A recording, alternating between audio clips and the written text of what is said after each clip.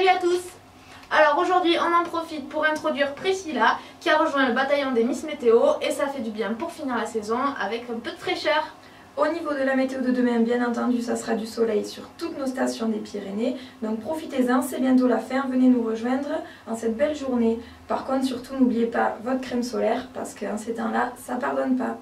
Et puis demain, c'est le 1er avril, donc avant de chausser les skis, préparez vos blagues. Et puis surtout, publiez votre meilleure blague en commentaire de la vidéo sur Facebook. Et celle qui nous aura fait le plus rigoler, bien sûr, gagnera une paire de lunettes loupe sol. Salut